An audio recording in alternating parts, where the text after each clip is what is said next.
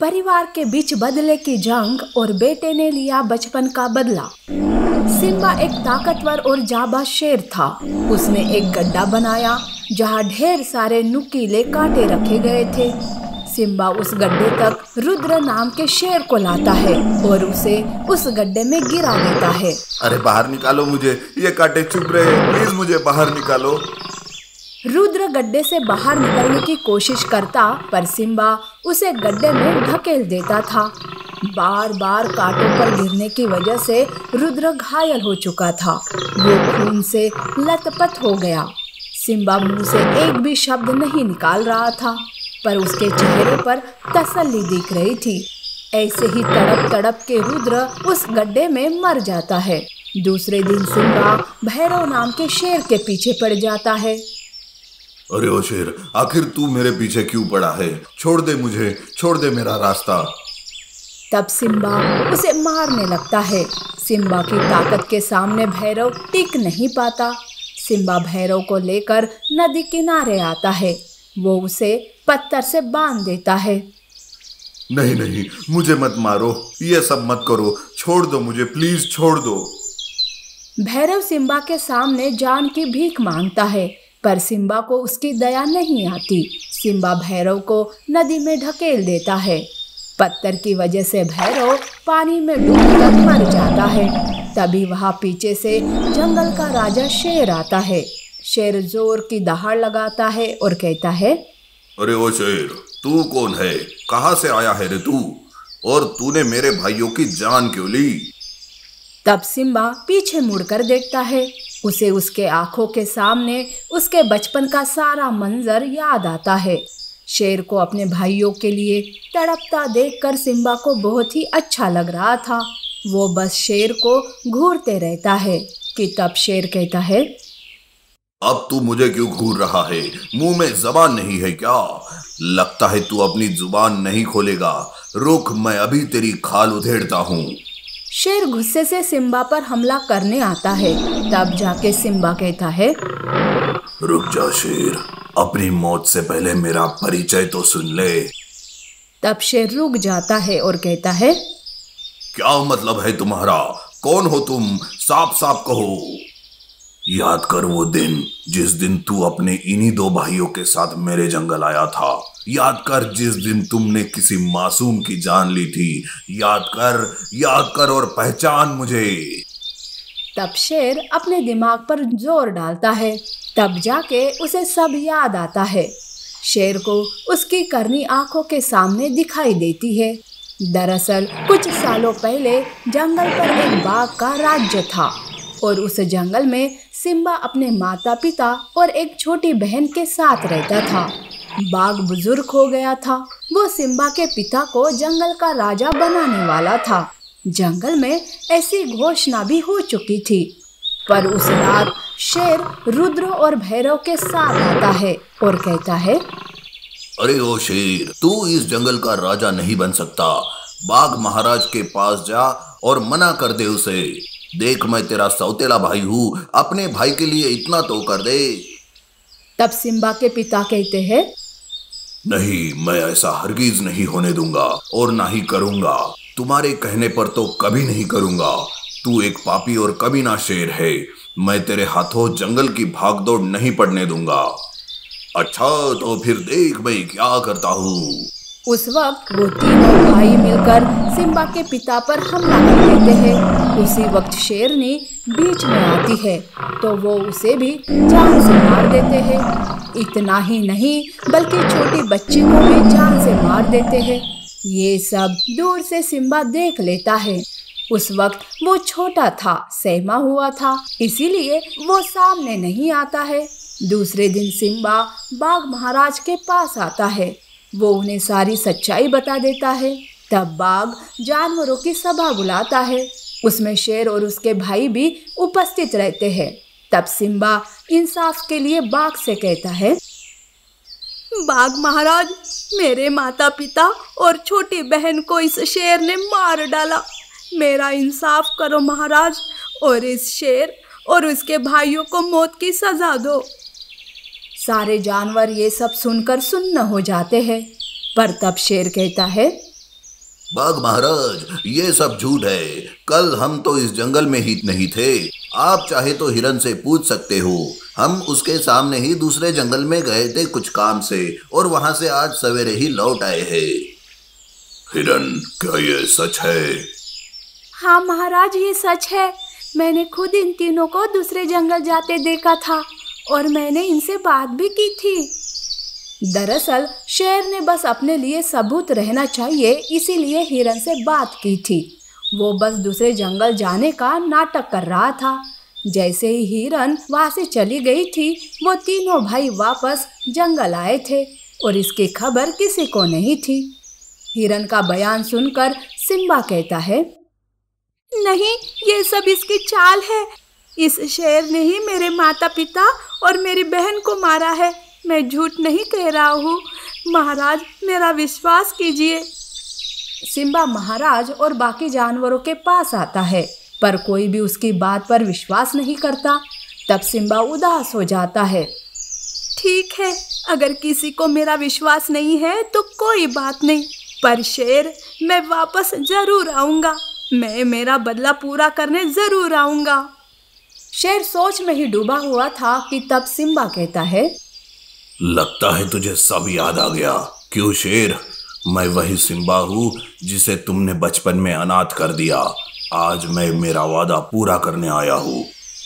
अच्छा तो तू है वो सिम्बा काश तुझे भी मैंने मार दिया होता। कोई बात नहीं, जो उस वक्त नहीं किया, आज मैं वो कर देता हूँ। तू क्या मुझे मारेगा? देखा नहीं तेरे भाइयों को कैसे तड़पा तड़पा के मारा? अब तेरी बारी। सिम्बा और शेर के बीच भयानक लड़ाई शुरू हो जाती है। सिम्बा बार बार शेर पर वार पर वार करते जाता है। शेर कमज़ोर होने लगा और सिम्बा शेर को जान से मार देता है। तभी वह सारे जानवर इकट्ठा हो जाते हैं। शेर को मरा देखकर वो भी खुश हो जाते हैं। तब जानवरों में से बंदर कहता है, बहुत अच्छा किया जो तुमने इस पापी शेर को मार डाला। इस शेर ने हमारी दुनिया ही जहन्नुम बना दी थी। वो सारे सिम्बा का जय जयकार करते हैं। इस तरह से सिम्बा ने अपना बचपन का बदला पूरा किया और जंगल का राजा बनकर अपना कर्तव्य निभाने लगा। गर्मी की समस्या, बुद्धिमान ऊँट, गर्भवती हथनी और चतुर बंदर। गर्मियों से जंगल के सारे जानवर बड़े परेशान हो गए थे। उसी जंगल में गर्भवती हथनी थी। वो भी अपने बच्चे को गर्मी से बचाने की कोशिश कर रही थी। और ऐसे में एक दिन शेर हथनी का शिकार करने आता है। तब हथनी शेर के सामने जान की भीख मांगती है। शेर, मुझे मत मारो, मैं गर्भवती हूँ। भगवान के लिए मुझे छोड़ दो। अरे, इतनी गर्मी में बच्चे को जन्म देकर क्या कर लेगी? वैसे भी जंगल के तालाब सूख गए हैं। तुम्हारा खून पीऊँगा तो मेरे सूखे गले को सुकून मिलेगा। नहीं नहीं, ऐसा मत कहो शेर। मेरे लिए नहीं, पर मेरे बच्चे के लिए मुझे छोड़ दो। कृपा कर दो मुझ पर। पर शेर कहाँ रुकने वाला था? वो ज़ोर से दहाड़ लगाता है। दहाड़ सुनते ही हथनी समझ जाती है कि अब उसकी खैर नहीं। तब वो पूरी ताकत के साथ वहाँ से भागने लगती है। हथनी को पेड़ पर बैठा बंदर देख लेता है। बाप रे अब ये शेर गर्भवती हथनी को मार कर ही रहेगा। नहीं नहीं मुझे हथनी की जान बचानी होगी। तब बंदर एक प्लान करता है। हथनी झाड़ियों में चली जाती है। तब बंदर शेर के सामने आता है। अरे शेर यहाँ कहाँ भाग रहे हो? वो हथनी तो दूसरी ओर भाग गई। क्या कह रहे हो तुम? ऐसे कैसे वो मेरी आँखों से ओझल हो सकती है? हाँ मैंने उसे पेड़ के ऊपर से देखा। इसलिए तो तुम्हें बताने नीचे आ गया मैं। शेर को बड़ा गुस्सा आता है। वो भूखा भी था तब वो बंदर से कहता है ठीक है पर हथनी ना सही। अब तू ही मेरा शिकार है। ऐसा कहकर शेर बंदर पर झड़प लगाता है। तब बंदर झट से पेड़ पर चढ़ता है। शेर पेड़ पर चढ़ने की कोशिश करता है। तब बंदर पेड़ों से उछल कूद करते हुए आगे बढ़ता है। इस तरह से बंदर और गर्भवती हथनी भी शेर की हाथ से निकल जाते हैं। इधर हथनी झाड़ियों से बाहर आती है तो वो एक रेगिस्तान में पहुँच जाती है। अरे, ये तो एक रेगिस्तान है। अब ऐसे में मैं कहा जाऊँ? यहाँ भी मेरा बच्चा सुरक्षित नहीं है। प्यासी गर्भवती हथनी रेगिस्तान में चल रही थी। तब उसे एक ऊट मिलता है। ऐसी हालत में तुम यहाँ क्या कर रही हो? यहाँ दूर दूर तक कोई छाया नहीं है और ना ही पानी। क्या करूँ ऊँट? उधर जंगल में शेर मेरे खून का प्यासा है और यहाँ मैं पानी के लिए प्यासी हूँ। हथनी सारी बात ऊट को बता देती है। ऊट को हथनी पर दया आती है। तब वो कहता है देखो ऐसी हालत में तुम धूप में नहीं घूम सकती हो। चलो मेरे साथ मैं तुम्हें एक खजूर के पेड़ के छाया में ले चलता हूँ। हथनी ऊँट के साथ खजूर के पेड़ के पास आती है। पेड़ की छाया में हथनी को थोड़ा सुकून मिल जाता है पर पानी की समस्या अभी भी वही थी। वो दोनों सोच ही रहे थे कि तभी वहाँ बंदर आता है। हथनी मैं भी शेर से बचते हुए यहाँ आ गया। वैसे आज मैंने ही तुम्हारी जान बचाई थी। तुमने हथनी की जान बचाई। मुझे विश्वास नहीं हो रहा। पर चलो ठीक है। बंदर अब बताओ कि अब हम इस गर्मी से कैसे बचे? हाँ बंदर उठ सही कह रहा है। और तो और बस कुछ ही दिनों में मेरा बच्चा भी इस दुनिया में आएगा। मुझे तो कुछ समझ में नहीं आ रहा है कि मैं क्या करूँ। मेरे पास एक उपाय है। कुछ सालों पहले मैंने सुना था कि यहाँ कुछ ही दूरी पर एक गुफा है। जहाँ पानी का कुआ है, जो पूरे साल भरा रहता है। अगर हम वहाँ गए तो हम इस गर्मी की समस्या से हमेशा के लिए बच जाएँगे। बंदर का ये हल सुनकर वो तीनों उस गुफा की ओर निकल पड़ते हैं। रास्ते में ऊँट और बंदर हथनी का ख्याल रखते हैं। चलते चलते वो उस गुफा तक पहुँच जाते हैं। तीनों भी बड़े खुश हो जाते हैं। अब मेरे बच्चे को कुछ नहीं होगा। धन्यवाद बंदर और ऊट तुम्हारा भी धन्यवाद। वो तीनों खुशी से गुफा के अंदर जाने लगते हैं कि तभी वहाँ एक सफ़ेद बाघ प्रकट हो जाता है। रुक जाओ तुम अंदर नहीं जा सकते। और अगर अंदर जाकर कुएँ का पानी पी लिया तो वो पानी नहीं बल्कि जहर बन जाएगा और तुम तीनों मारे जाओगे। ऐसा ना कहो बाघ एक बार मेरी हालत तो देखो। पहले ही मैं मुश्किलों से बचते हुए यहाँ तक आई हूँ, और अब तुम भी ऐसे कह रहे हो। हाँ मैं भी क्या करूँ? क्योंकि कुछ जानवर इस बात का गलत फ़ायदा उठाते हैं। पर तुम सबकी मजबूरी देखकर मैं तुम्हें एक पहेली पूछता हूँ। अगर पहेली का सही जवाब दिया तो तुम अंदर जा सकते हो, और हाँ जब तक गर्मियाँ खत्म नहीं होते, तुम वहाँ रह भी सकते हो। हाँ हम तैयार है। आप अपनी पहेली पूछो। ठीक है। तो सुनो लाल हूँ खाती हूँ सूखी घास पानी पीकर मैं मर जाऊँ। बताओ मैं हूँ कौन? ऊट और बंदर दोनों एक दूसरे की तरफ़ देखते हैं। थोड़ी देर बाद ऊट और बंदर दोनों एक साथ कहते हैं सही जवाब है आग। बाघ सही जवाब सुनकर गायब हो जाता है और वो तीनों गुफा के अंदर जाकर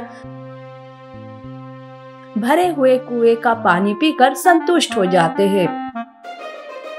सच में, आज तुम दोनों की वजह से मैं और मेरा बच्चा बच गया और हमारी गर्मियों की समस्या भी खत्म हो गई। आज से हम तीनों यहीं पर रहेंगे। उस दिन से ऊट, बंदर और हथनी वही रहते हैं। कुछ दिनों बाद हथनी को एक प्यारा सा बच्चा होता है। इस तरह से वो गर्मी के मौसम में भी खुशी से उस गुफा में रहने लगते हैं।